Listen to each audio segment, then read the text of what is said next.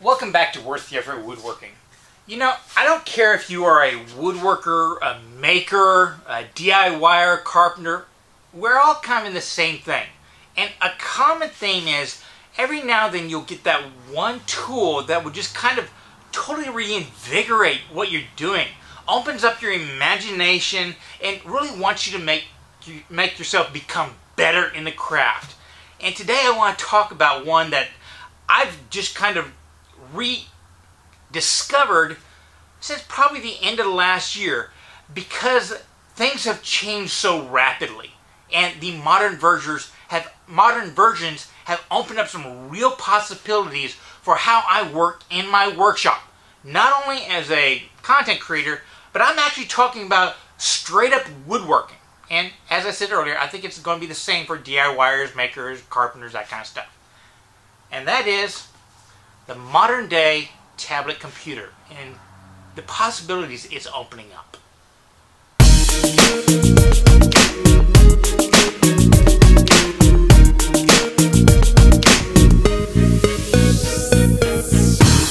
Before we start the discussion, I probably need to give you a quick background so that you understand where I'm coming from. I've been kind of on the bleeding edge of technology from about 97 up to about 2010, 2011. My first website I built and uploaded was 96, 97, I want to believe. I graduated college with a multimedia uh, degree. I went into teaching to teach basically uh, digital uh, media, the Adobe stuff. And I am a hardcore Adobe fanboy. In fact, there was a time I was considering getting my uh, Adobe ACE certification so I could teach Adobe products uh, to the college level uh, professionally, it's just you had to get that every single year, and for a high school teacher, it wasn't very necessary. And the kids that were taking my class and going on into multimedia in college were coming back to me telling me we were going way more advanced in high school than what they were doing at the college level. So I, I, I like teaching uh, the technology because the technology was irrelevant. It was just a means of communicating what the students wanted to do. They were just tools. They were stupid tools to begin with. My favorite program was always Adobe Illustrator, all the way back to that first generation they went public with. Uh, because that's really the only art program where you start from a blank screen every single time. Uh, vector art is what Illustrator does, and it's mainly math based straight line curves. Whereas what most people are familiar with is Photoshop, which is pixel based, uh, which pretty much you are always starting with some kind of photograph or some kind of uh, filter or something like that that gets you a starting point. It's not from scratch like Illustrator. And I loved Illustrator from that. Man, because, you know, going back all the way to six or seven years old, I always wanted to be a cartoonist. And I'm not talking about comic books, I'm talking about the Sunday morning cartoons.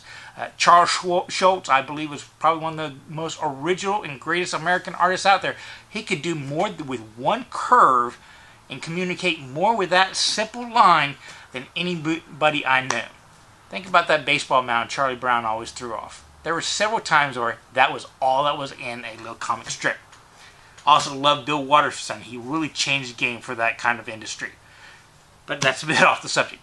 Anyways, you understand where I'm coming from. And after about 2010, 2011, I, I, I did it more casually as after I left the teaching industry.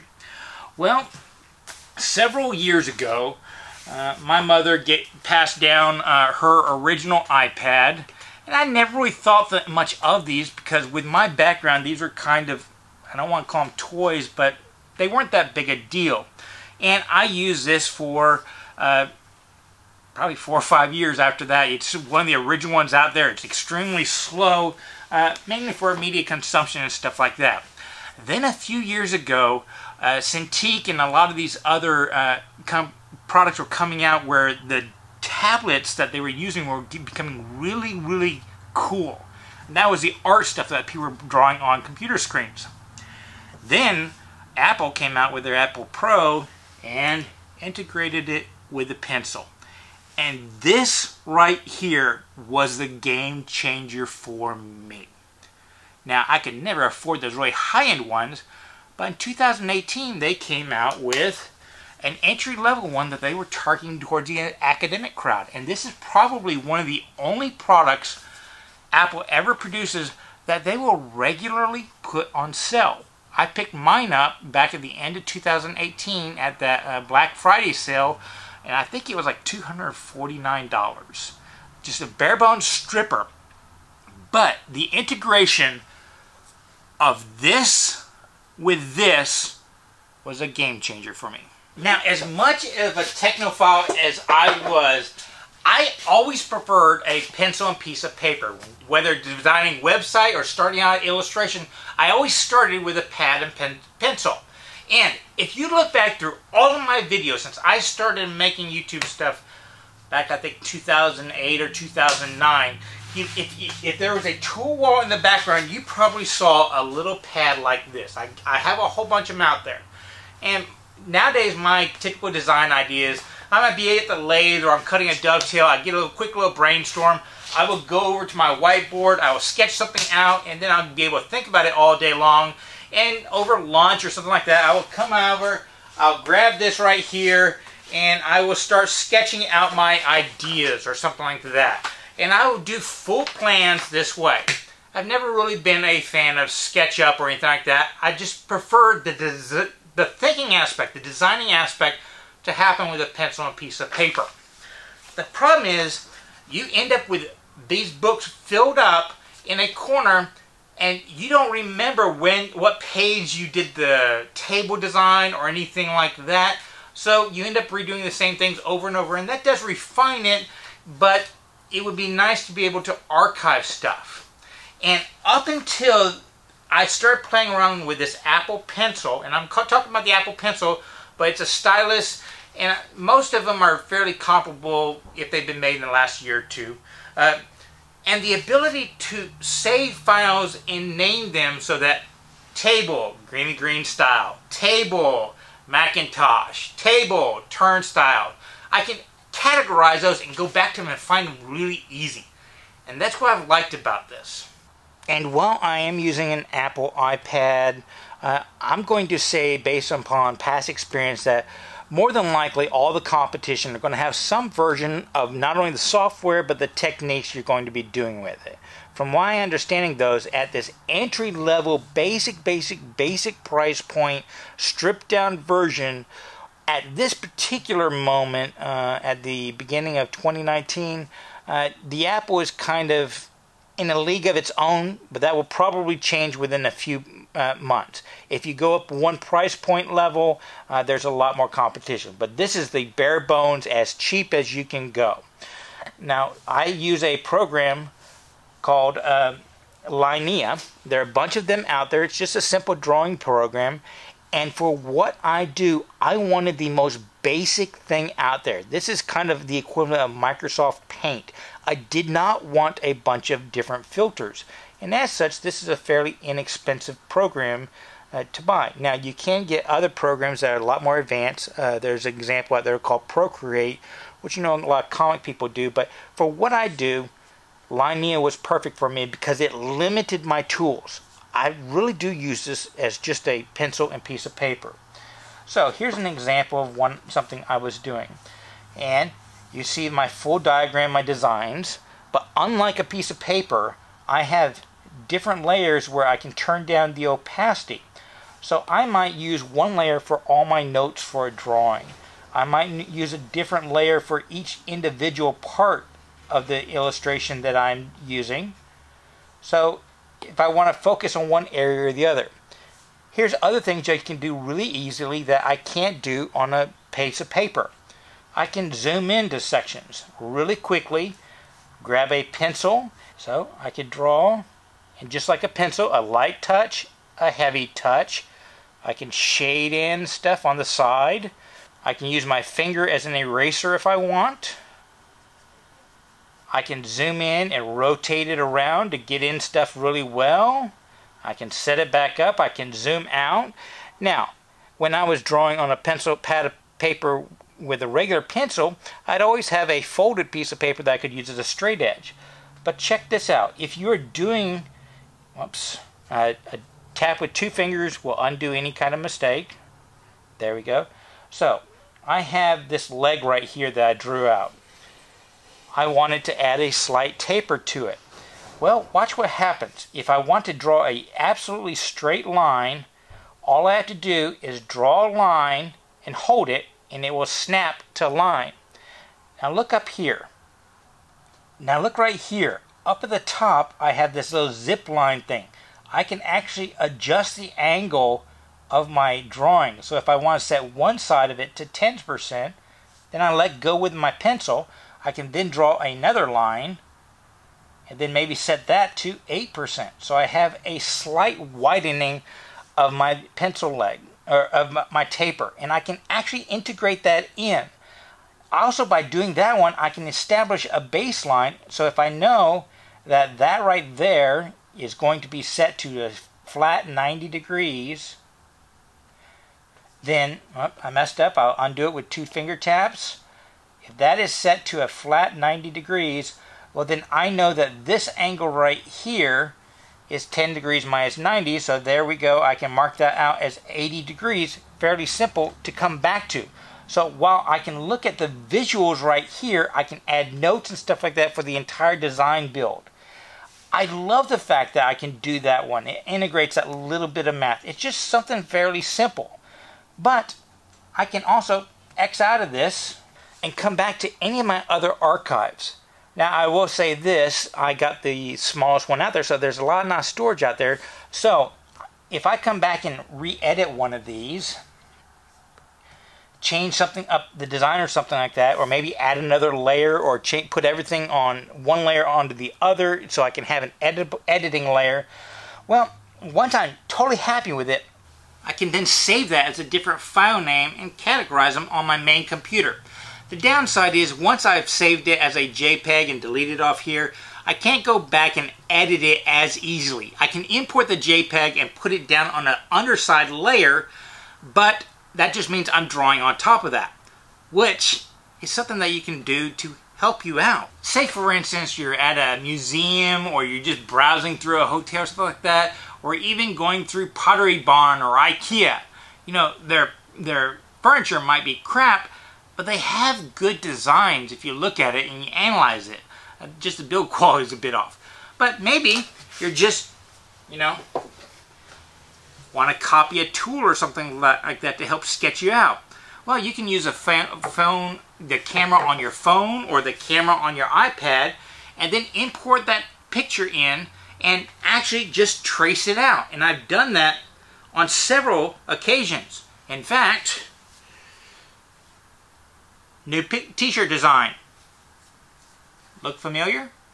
If you can't tell, it's a sketching aspect that has so impressed me with this modern day tablets compared to the one that I was given many years ago. It is so close to an actual pencil in the end product. Not necessarily the feel, though I am told that you can put a film on the outside, it will even give you that a slight resistance feel. But it is so close to the end product that it feels native to me. It feels easy to me. It doesn't feel like technology. It just feels like a tool to get my designs out there. To let me borrow designs from other people through photographs that can then translate into something I want to build. It's gotten to the point now where I'm spending an hour, hour and a half right before bed instead of playing solitaire or Tetris I'm actually working on designs. This is something I can put in my satchel. And anywhere I go, I'm in the library, I'm at the laundromat, stuff like that, I can pull this out and just let my imagination go wild. And that's not something you can always do with stuff like AutoCAD or SketchUp, though I am told they have versions for those programs right here. This is just very intuitive. The downside is it is pixel based. It is not vector art. I've searched long and wide for a nice high quality vector program. Without that as an option, I would rather have a stripped down, all very, very simple pixel based program like this Linea.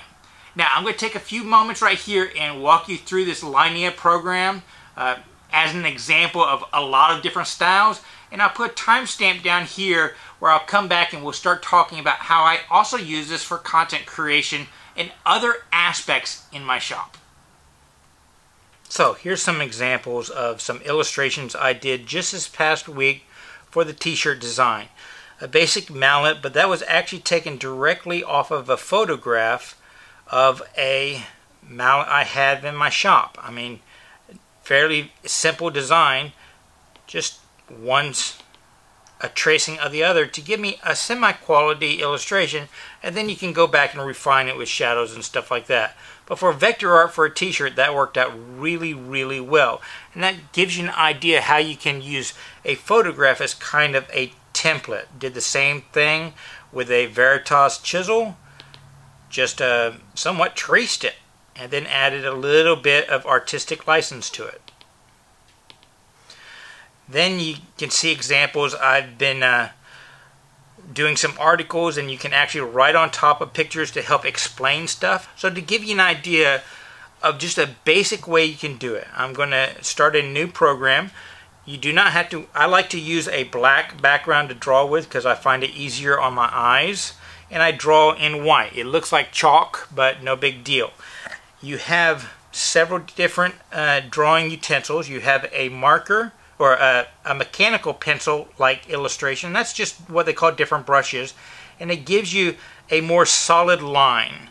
And in each one of these, if you click it again, you'll get different size variations.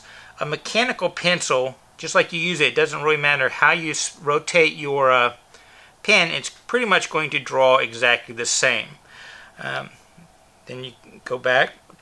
You have a regular pencil, which once again you have variations of thicknesses so you can draw light, heavy. If you lean it on its side, you get the full lead effect, that kind of stuff. And that's what I use most of the time in the finer version, just because I like it. But if you are doing a lot of vector art for t-shirts and stuff like that that you're going to export out and translate into it, using the marker will give you a lot more of a solid line so that it will convert into vector art easily okay? You have a thicker marker which you can do thin stuff like that. And then you have variations in not only opacity so that you can go over it and over it and over it that kind of stuff. I really don't ever use those. My I am so basic in this application. All I ever really use is a pencil and the eraser. Now you can, if you have lines or something like that, I know one aspect is to be able to smudge it. And you can smudge your work just like with regular pencils on this. So if you want to blend different things together, like various colors, you can do that one.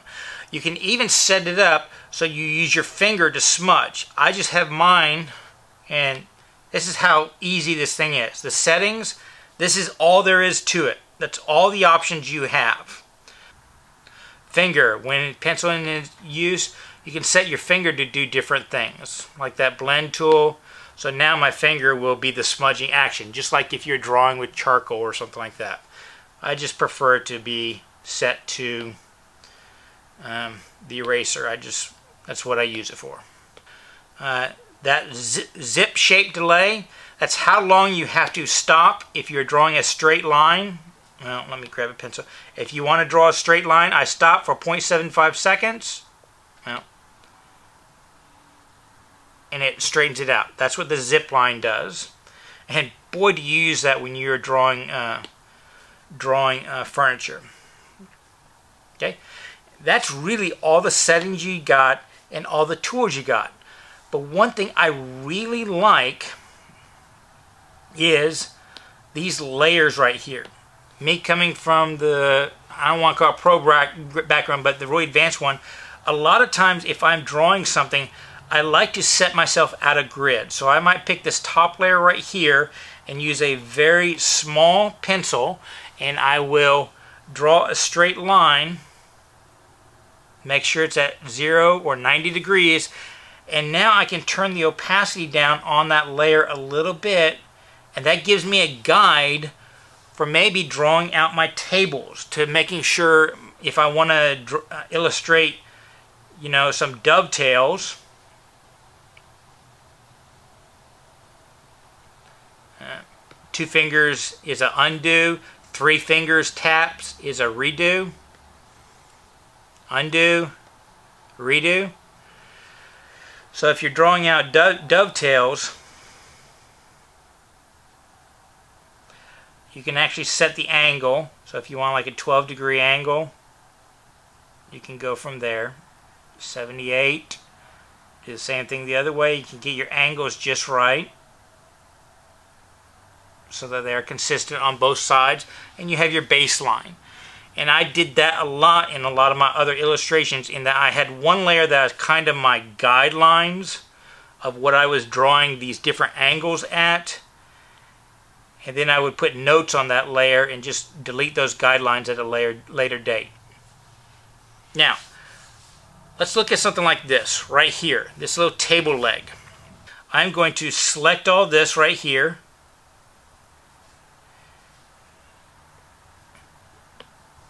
Clear. Delete it out. Okay? Tap away. Now watch this. If I want to make a table out of this design, I can actually select it, copy it, move over, paste it, paste it from the clipboard. I have that piece right there. I want to move just this one section right here. So now I'm going to say yes, select it again, and then I have options here. Flip horizontally. I can now move it, line it up, and I have a perfectly symmetrical table drawn. So I really only have to focus on one and I can duplicate different aspects of it. And you can do that all over the place to create stuff. And FYI, if you do want to add color for something, which I never do, you do you have this paintbrush, paint roller thing right here. Just pick a color, and if you have an enclosed area somewhere, all you have to do is tap on it, and it will add the color to that section. No big deal. I just, I never use it because I use this as strictly a sketching pad. Other things you can do is you have some kind of drawing, like everything else. You can't do this with paper. You can just click it and twist it around, move it, resize it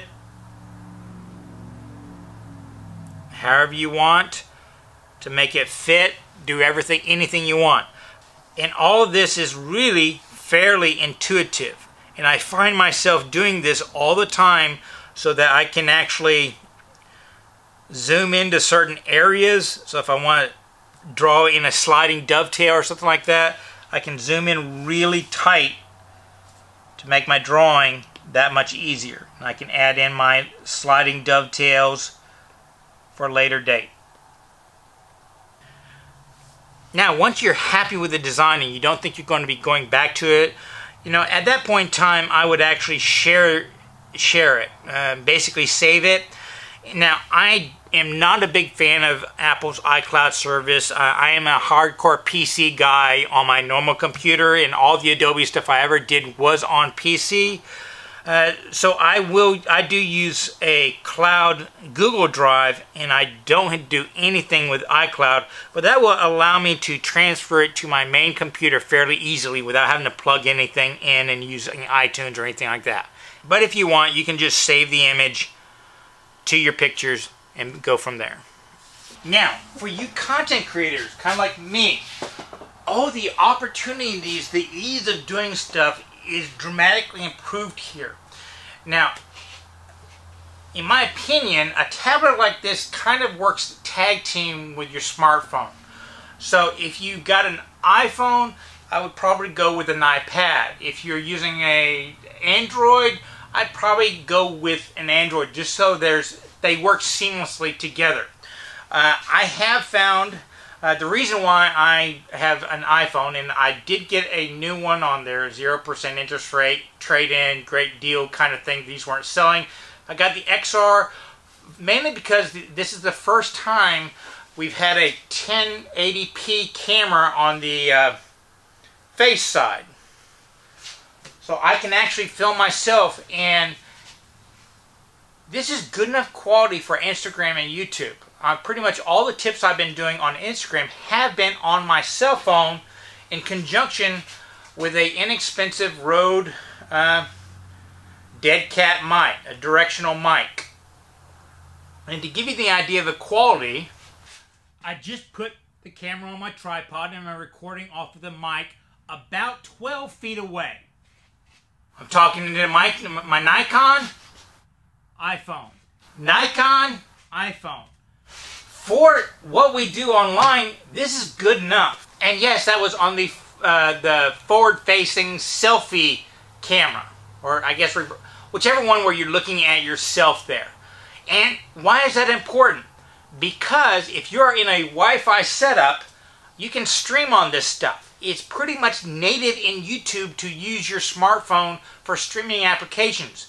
In fact, the stream I did last uh, Tuesday, right before this video comes out, was done entirely on my iPhone in conjunction with my iPad because I could actually turn the volume down on the iPad, read chat, interact with stuff, make sure everything was okay, and using my iPhone on a on a tripod extendable arm camera arm, I'm going all over the place with it. I can bring it down really close for demonstrations. I can back it back up. It works really, really well for that kind of st stuff. But I could also put that to my Google Drive, bring it down here, and edit it in iMovie. So there's been several times, like in SWAT, where I actually filmed here, edited there, uploaded it. Really, really simple. There weren't really many fancy transitions or anything like that, but it worked great. Now, before I had this one, streaming is not that big a deal. I actually was streaming using the forward-facing camera on my very old iPad. I think its best was 720 and I just did it all right here. Forward facing camera. I turned the volume down. It still picked up my mic. I could read the chat and answer questions. And I had this on a tripod and did several different streams right off of that on the iPad. So as content creators, it does open up some opportunities. Even more in print. Once again, it's mainly just because of convenience factor that, you know, this thing has uh, pretty much an all-day battery. I can take it with me to a bookstore, sit down in the corner, and do as much writing as I want. And you have free programs. A simple text editor isn't that big a deal. But for a lot of my blog posts or something like that, I will simply sit there. I, you can pick up these old wireless uh, Bluetooth uh, keyboards. This happens to be another Apple one just because they work seamlessly together. And type up all you want. Add in pictures, upload it through WordPress or uh, Squarespace or anything to your blog. It just works great that way. And it's the fact that it's getting rid of all of the extras. I don't need to have unlimited fonts. I don't need to have a lot of layout stuff. I just want to get text down. This works perfectly for that. So I want you to think about what I just described for new content creators. Uh, $250 because you'll probably find it on sale somewhere because this very basic educational model is something that Apple's pushing out to a lot of schools and stuff like that. So I don't know if it's they just have more margin in them or what, but you can generally find them on sale somewhere, you know, less than $300. An Apple Pencil, I can do illustrations, I can do decent photography, I can do decent video, I can even stream I can upload to the internet. Uh, FYI, uh, I do not have a uh, data plan for this one. I just use a data plan on my phone, so I don't have to pay for it twice. Uh, you can do that. It doesn't take too much. Uh, I've done live streaming out in the field through this using my phone as a, a hotspot, letting the iPad or tablet doing all the streaming out there. I mean, it's not going to give you the best quality, but for what we do, it's good enough. And most people won't really care the difference. But the thing that I keep coming back to, the thing why this is all of a sudden gone to something I'm using for some basic media content absorption and maybe a little writing and a, a prompt for my uh, chat during live streams to something I have pretty much on all day long as a resource. Yeah, I do yet listen to podcasts or Bluetooth speaker in my shop as this is the main hub of that.